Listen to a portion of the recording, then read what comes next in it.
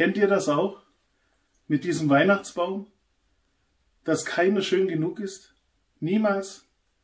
Dabei ist es Natur, es ist Holz und es wächst, wie es will. Und hier dazu ein kleines Gedicht über einen Weihnachtsbaum. Ich, der Weihnachtsbaum. Einst wuchs ich auf, auf schönem Land. Kuhweide wurde es genannt. Um mich herum nur Gleichgesinnte und die Bestimmung war bekannt. Wir sollten Weihnachtsbäume werden, zur rechten Zeit der Menschen freut.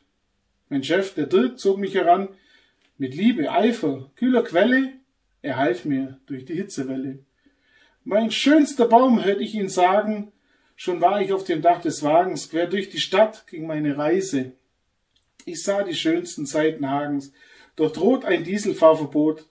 Darum ging es mit der List und Tücke vorbei an dieser Lego-Brücke. Von Eilpe in Bölse schöne Mitte, mein neues Heim, es war famos. Dann ging die Schmückerei schon los. Da stand ich nun in voller Pracht und träumte von der Weihnachtsnacht.